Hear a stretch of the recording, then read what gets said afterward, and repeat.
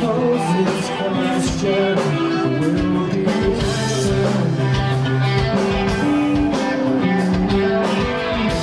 I suppose the answer's.